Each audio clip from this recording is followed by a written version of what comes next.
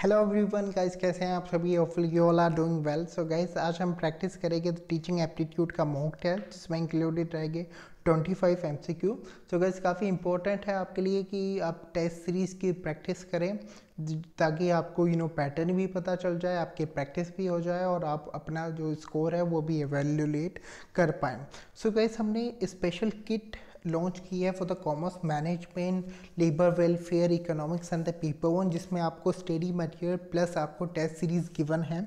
तो काफ़ी हेल्पफुल रहेंगी, वो आपके लिए अगर आप सब्सक्राइब करना चाहें। फॉर मोर डिटेल आपको डिस्क्रिप्शन में बेसिकली उसका लिंक मिल जाएगा, आप वहाँ पर जा सकते हैं। डिस्क्रिप्शन में इस जो 25 क्वेश्चंस आज हम करने वाले हैं, उसका आपको एक पीडीएफ भी मिल जाएगा विद सोल्यूशन वो भी आप डाउनलोड कर सकते हैं। तो गाइज़ स्टार्ट करते हैं आज का टेस्ट सो so गाइस ये सेम पैटर्न पे ही बेस्ड है जो कि आपके एग्ज़ाम्स में होता है। तो हम स्टार्ट करते हैं। You can choose your language ठीक है तो I am ready to begin okay, so guys, the first question is, what are the provisions that can be followed by the teacher in case of gifted learner? ठीक है, पहले जान लेते हैं gifted learner क्या होते हैं? गिफ्टेड स्टूडेंट्स बेसिकली वो स्टूडेंट जो कि क्रिटिकली ज़्यादा यू नो कैपेबल होते हैं as their others students uh, जो जो कि क्लास में अदर स्टूडेंट्स होते हैं उनसे ज़्यादा उनका आईक्यू लेवल हाई रहता है और वह एक्स्ट्रा ऑर्डिनरी होते हैं थोड़े। मतलब ऑर्डिनरी अदर एवरेज स्टूडेंट से वे काफ़ी यू नो अच्छे या यू कैन से दैट उनका आई क्यू लेवल काफ़ी हाई होता है। वे क्रिटिकल यू नो जो प्रॉब्लम होते हैं उन्हें आप वे सॉल्व कर सकते हैं ठीक है? तो इन दैट केस टीचर को क्या करना चाहिए? जो स्टूडेंट्स दूसरे स्टूडेंट से अलग होते हैं। तो द फ़र्स्ट ऑप्शन ये these students can be given more number of assignment और the harder one these students can be allowed to attend extra classes a special section can be arrange for such learner so guys देखिए, अगर कोई students you know extraordinary है या gifted है या किसी का आई लेवल काफ़ी यू नो ज़्यादा है तो बेसिकली वो ज़्यादा टास्क कर सकता है या वो अप नॉर्मल यानी कि उनके जो सेम एज ग्रुप के स्टूडेंट्स हो गए, उनसे वो अप नॉर्मल टास्क कर सकता है।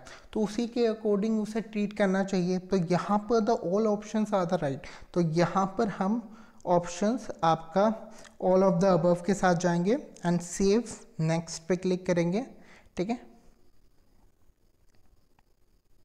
Okay so guys next question is answer the following question for the selecting the most appropriate option ठीक है?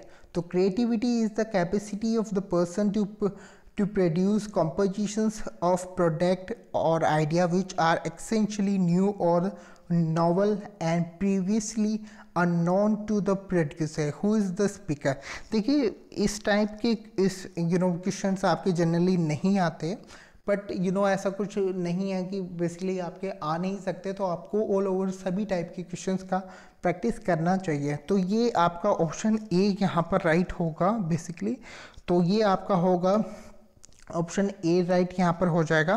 तो यहाँ पर जैसे कि बात हुई है आपका you know you know product composition की यहाँ पर बात हुई है क्रिएटिविटी की बात हुई है।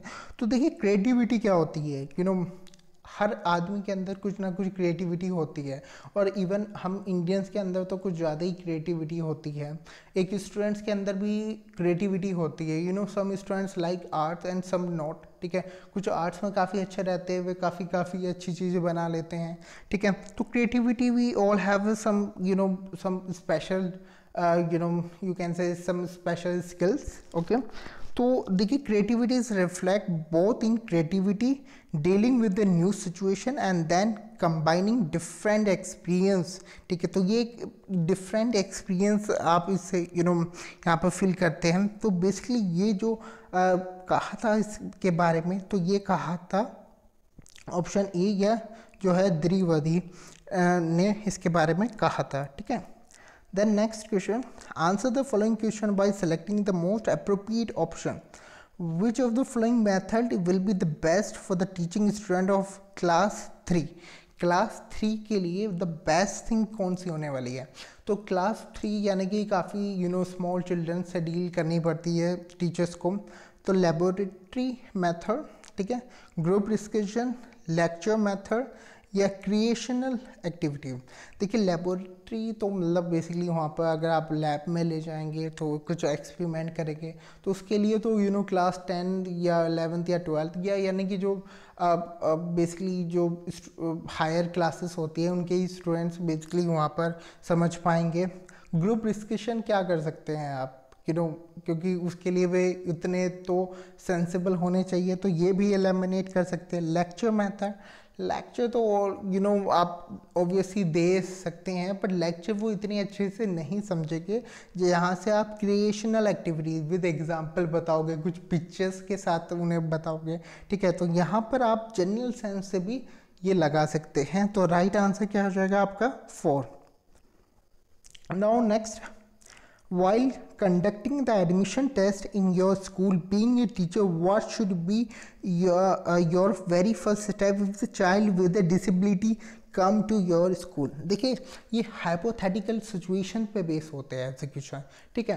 तो यहाँ पर क्या करना चाहिए आपको बेसिकली सपोज़ किसी स्कूल्स का यू नो रूल है कि वो विदाउट टेस्ट यहाँ पर एडमिशन नहीं देता तो आपको डिसेबिलिटी के साथ यानी कि जो स्टूडेंट्स विद डिसेबिलिटी होता उनके साथ आपको क्या करना चाहिए।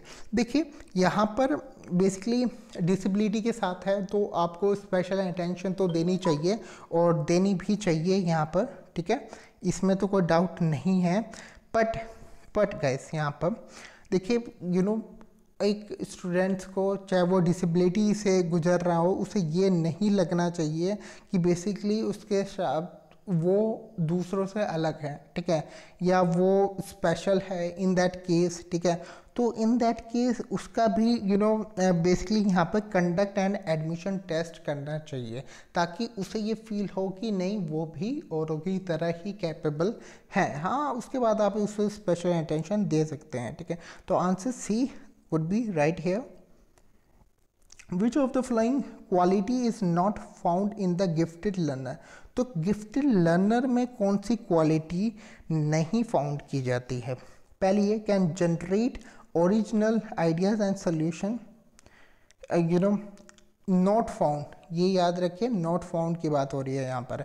ठीक है, ये ज़रूर याद रखिए, जब भी क्वेश्चन पढ़े, उसे प्रॉपर पढ़े। Uses previously learned thing in new context, unusual emotional depth and intensity accept the judgment of another person easily. देखिए गिफ्टेड लर्नर यानी कि वो एक्स्ट्रा ऑर्डिनरी है you know there some person जिनका यू नो वे दूसरों को फॉलो नहीं करते, ठीक है? वे अपने आप को फॉलो करते हैं, ठीक है? कुछ ऐसे टीचर्स होते हैं जिनके यूनिक मेथड होते हैं। उन्हें फ़र्क नहीं पड़ता कि बेसिकली और टीचर कैसे पढ़ा रहे और आपको ऐसे ही टीचर होना चाहिए। ये फ़र्क नहीं पड़ता। जो रट्टू तोते थोड़े टीचर मुझे ये कहना वर्ल्ड नहीं चाहिए। बट कुछ टीचर्स आपको ऐसे लगते हैं कि जैसे वे कुछ रट के आए हैं और वो आपको कंप्लीट बता रहे हैं। एग्ज़ाम्पल भी रट के आते हैं। मतलब ये मेरा पर्सनली एक्सपीरियंस है। मैंने कुछ ऐसे टीचर्स देखे हैं। ठीक है? तो बट ऐसा नहीं होना चाहिए। ये तो आपके अंदर से आते हैं। मतलब आपकी स्किल्स पे भी ये कहीं ना कहीं डिपेंड करता है। ठीक है तो गिफ्टेड लर्नर्स के बारे में यहाँ पर बात की है। तो अगर आप देखिए फोर पॉइंट ठीक है accept the judgement of another person easily देखिए, जो क्रिएटिव आदमी होते हैं ना, या पर्सन होते हैं, इनके, वो ना दूसरे के जजमेंट इतनी जल्दी एक्सेप्ट नहीं करते। दूसरे की थ्योरी वे इतनी जल्दी यू नो एक्सेप्ट नहीं करते। वे कहते, भाई, ये ऐसा है तो ऐसा क्यों है? ठीक है तो यहाँ पर the right answer would be four Directions uh, answer the following question by selecting the most appropriate option. Reward orientation is related to the level of level dash of Kohlberg sequence of moral reasoning. Sequence of moral reasoning ये आपका जो Kohlberg sequence है, और moral reasoning पे पहले भी basically आपके question आ चुके हैं। तो ये जो आपके ऐसे टॉपिक्स होते हैं, ये काफ़ी इम्पोर्टेंट है। इसके बारे में आपको एक बार एटलीस्ट ब्रीफ में पढ़ना बहुत ज़रूरी है, ठीक है? तो यहाँ पर बात क्या हो रही है? रिवार्ड ओरिएंटेशन अगर आपने इसके बारे में पढ़ा होगा तो आप ऐसे क्वेश्चन का आंसर आप इन केस जब ही दे सकते हैं, जब आपने उनके बारे में आपने अगर पढ़ा, पढ़, आपने अगर पढ़ा होगा तो ठीक है, ये काफ़ी इम्पोर्टेंट आपके हो जाते हैं। यहाँ पर आप तुक्का बिल्कुल भी नहीं लगा सकते, ठीक है। तो यहाँ पर क्या आंसर होगा आपका? Pre conventional morality conventional morality post conventional morality या none of the above so guys यहाँ पर बेसिकली अगर पहले आंसर की बात कर लेते हैं तो वो आंसर जो यहाँ पर होगा, वो होगा आपका प्री कन्वेंशनल मॉरलिटी देखिए रिवार्ड ओरिएंटेशन देखिए रिवार्ड एंड पनिशमेंट ठीक है, मैं आपको इसमें कोलबर्ग सीक्वेंस में मैं आपको ये बता दूँ कि उन्होंने कहा था कोलबर्ग सीक्वेंस बेसिकली बेस है ट्रेडिशनल एजुकेशन पे, ठीक है? तो ये भी आप याद रखें, ठीक है? तो इन्होंने बेसिकली कहा था कि जो रिवार्ड होता है और जो पनिशमेंट होता है, वो दोनों ही बेसिकली एक स्टूडेंट्स के लिए भलाई के लिए होता। मतलब दोनों, उसके लिए यू नो चाहे रिवार्ड हो, चाहे पनिशमेंट वो उसी के लिए होता है। बेसिकली उसी पर्सन के भलाई के लिए होता है, उसी के लिए गुडनेस के लिए होता है। तो यहाँ पर होगा आपका प्री कन्वेंशनल मोरलिटी ठीक है? और ये आप जैसे मॉरल रीजनिंग है, इसके बारे में ब्रीफ में ज़रूर पढ़िए, ठीक है? Then next question, which of the following is the general principle of social learning theory of albert bandrew ठीक है, अगर आपने ये पहले नहीं सुना है इसके थ्योरी के बारे में, देखिए, कुछ ऐसी थ्योरी है जिसके बारे में आपको जानना बहुत ही ज़रूरी है, ठीक है?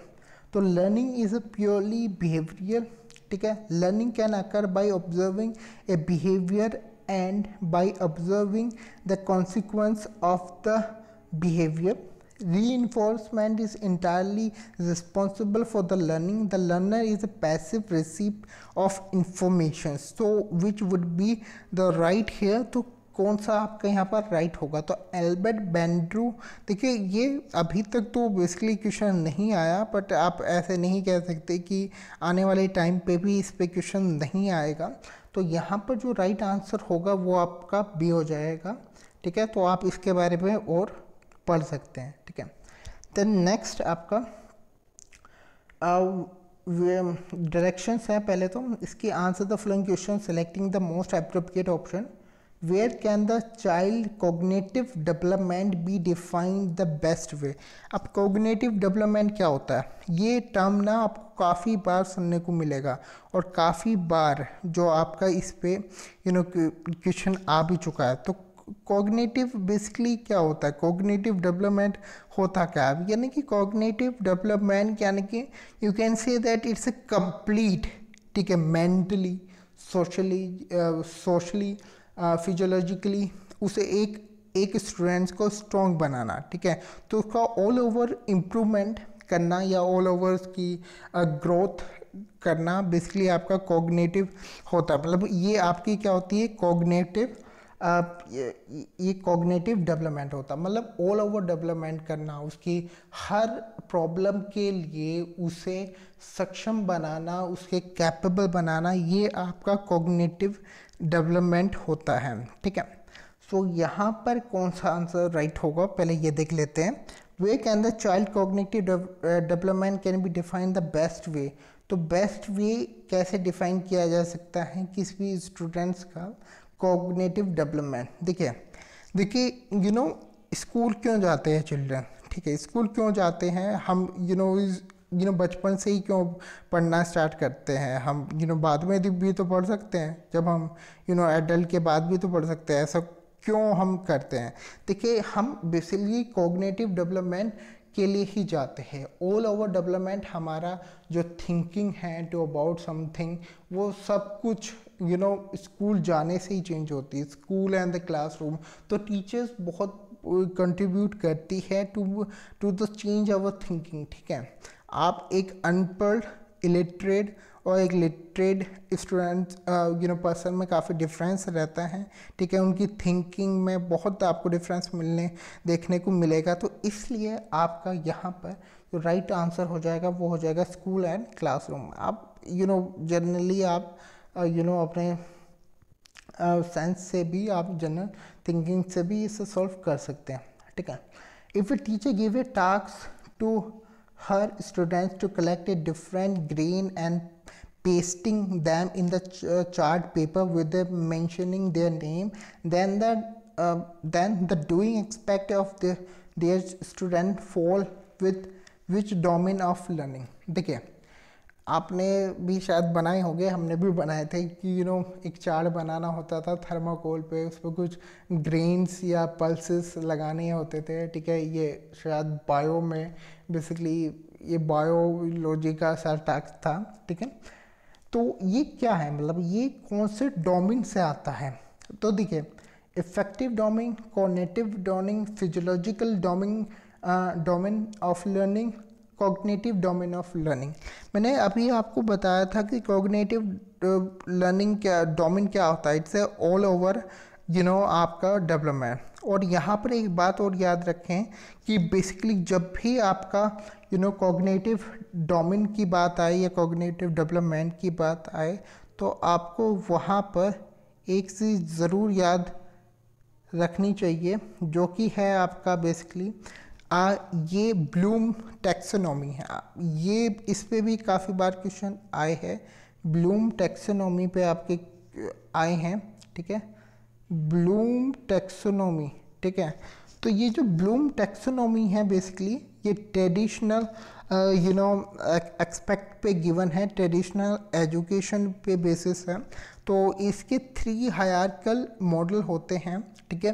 होपफुली आपने पढ़ा होगा। तो कोग्नेटिव डोमिन भी इसमें से one of the you know hierarchical models में से आता है। बेसिकली ये एक एजुकेशन एक traditional education you know theory है, जो कि बेस है करिकुलम लर्निंग ऑब्जेक्टिव पे, ठीक है? तो ये भी याद रखें ब्लूम टेक्सोनॉमी से रिलेटेड होता है आपका कोग्नेटिव डेवलपमेंट तो ये भी आपके लिए इम्पोर्टेंट हो जाता है, ठीक है?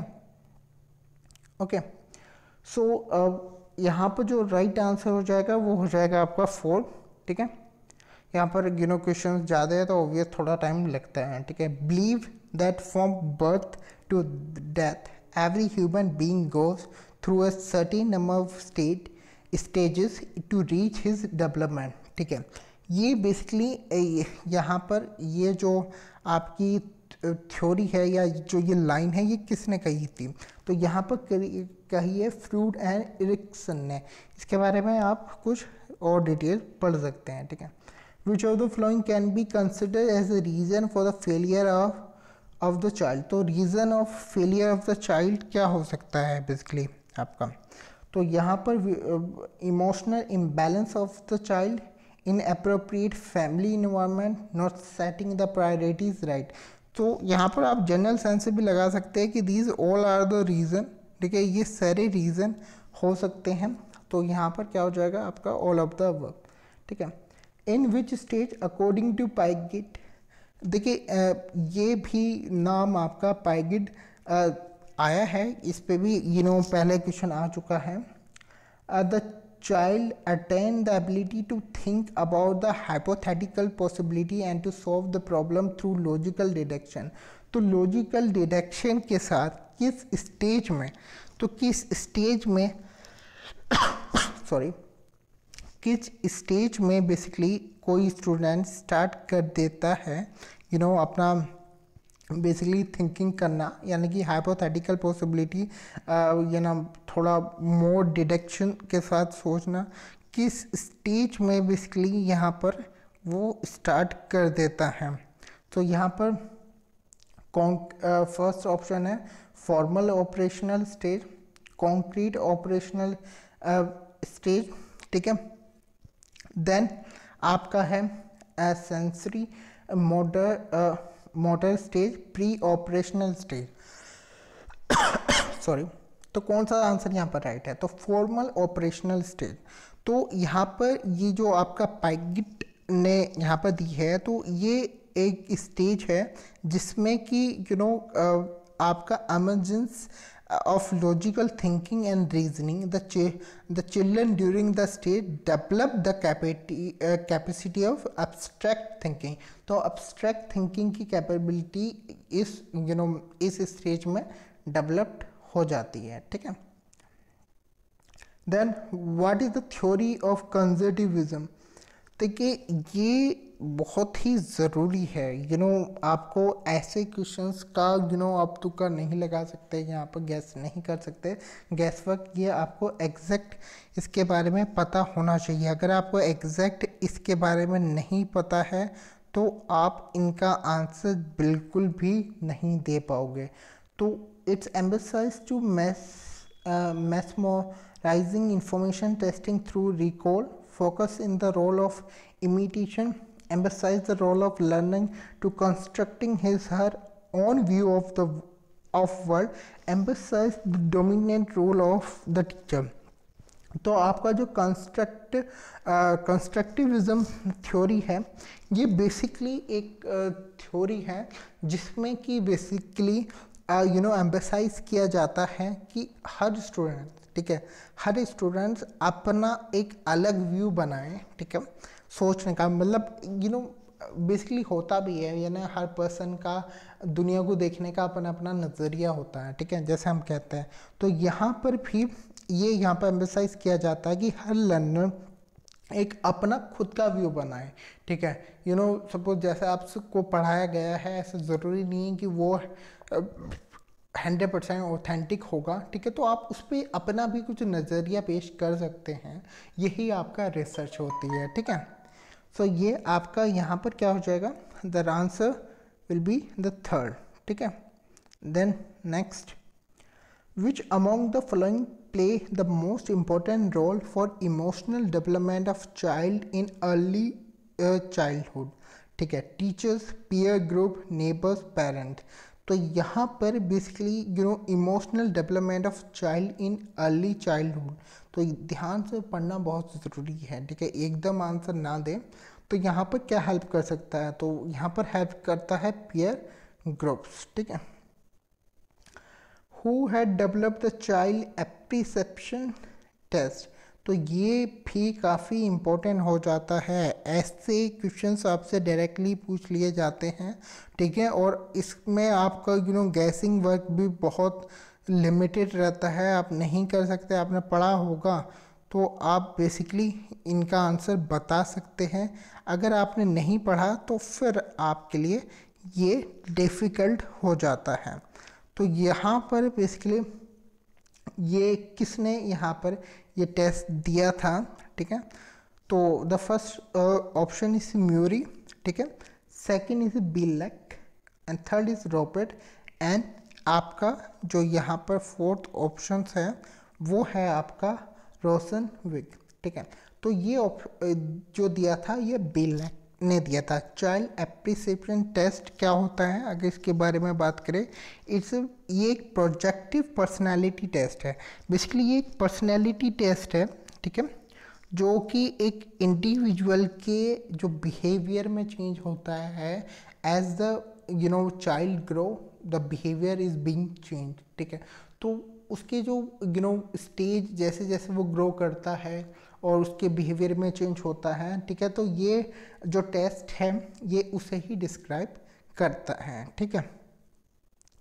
Being a teacher you always focus on the following pattern in your class while making the learner to understand and learn the concept remember understand apply analyse evaluate create which domain of Bloom taxonomy अभी मैंने कहा था कि Bloom taxonomy का जब भी बात हो, जब भी उसका बात हो तो वो कॉग्नेटिव डोमेन से ही यहाँ पर रिलेटेड है। और कॉग्नेटिव डेवलपमेंट के बारे में भी बताया था कि इसमें आपका ऑल ओवर डेवलपमेंट होता है। तो ब्लूम का मतलब आप अगर आपने इतना भी पढ़ा है ना तो जब भी आप इसका आंसर दे सकते हैं।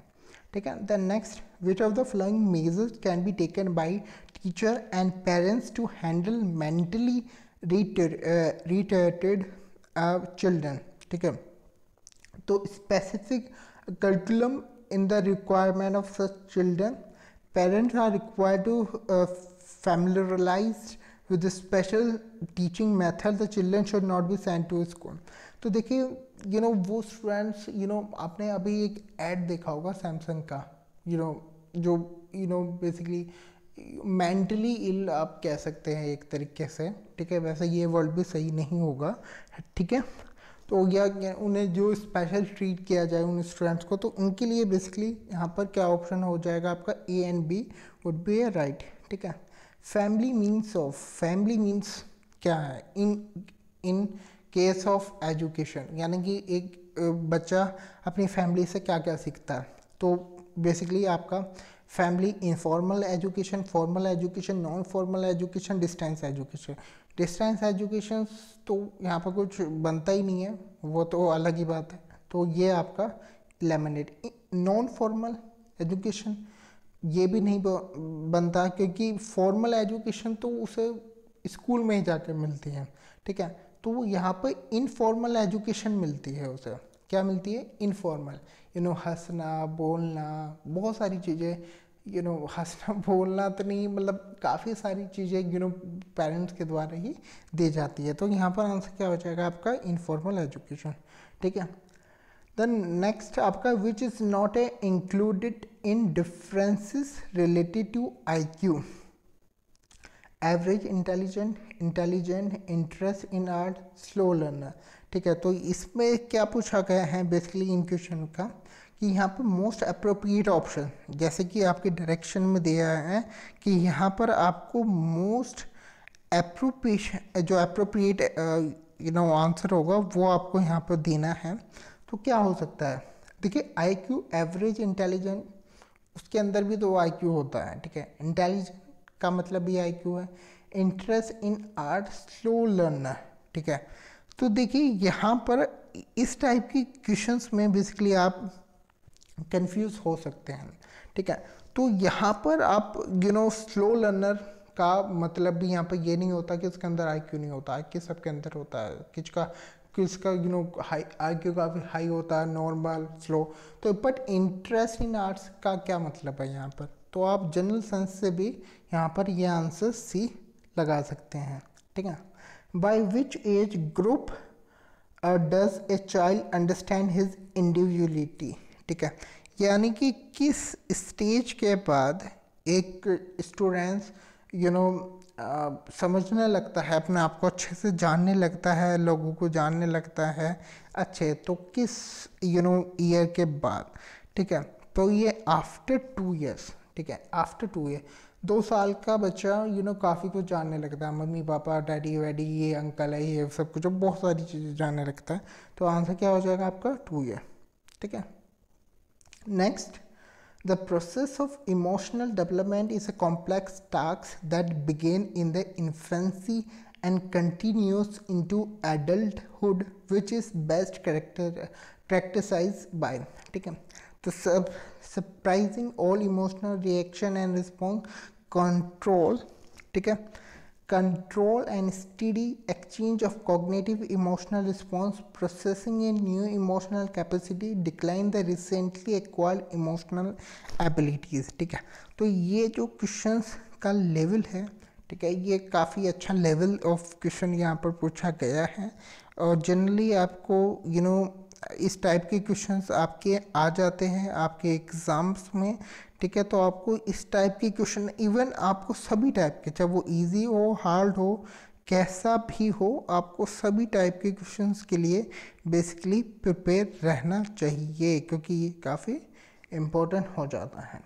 तो यहाँ पर क्या है कि development is a complex task ठीक है? Emotional development of a complex task that begin in infancy continues in to adulthood which is best characterized to control the steady exchange of cognitive, emotional response, ठीक है?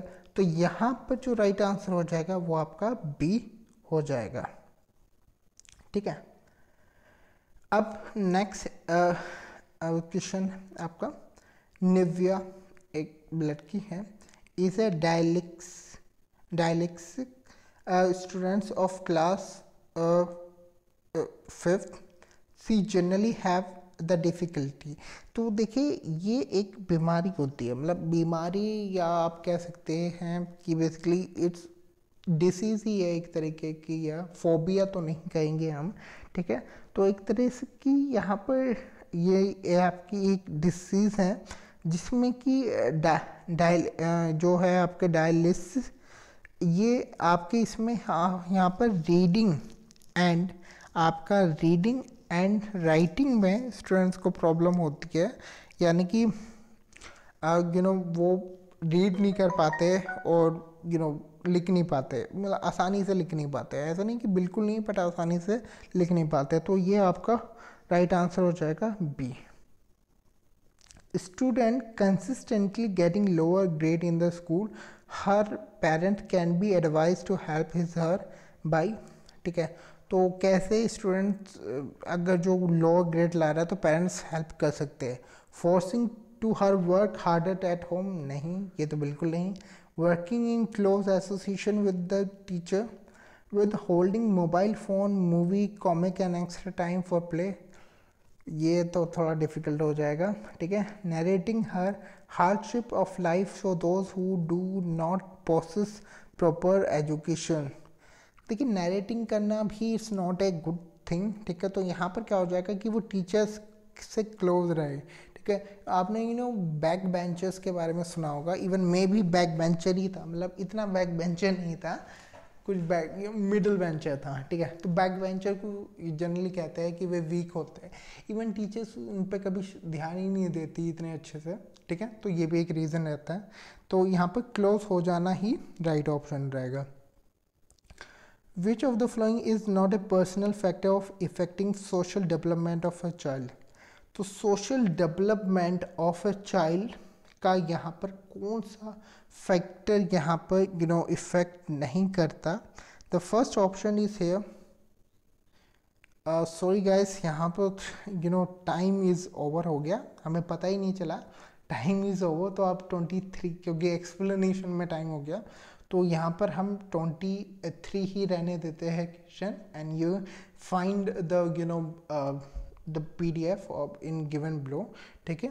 तो actually ये भूल ही गया था इसके बारे में टाइम के बारे में भी ठीक है?